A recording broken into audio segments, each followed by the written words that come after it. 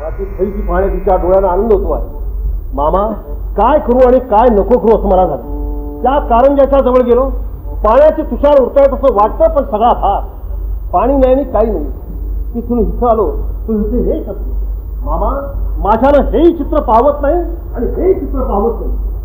स्त्री जात आणि भावजाईची गय करतो. पण हिच्या या अपराधाबद्दल पाचही पांडवांना शिक्षा भोगावी लागेल.